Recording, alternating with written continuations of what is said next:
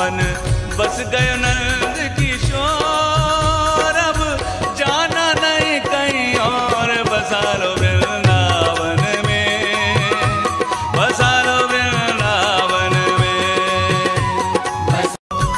मन, बस गयो नंद किशोर अब जाना नहीं कहीं और बसा लो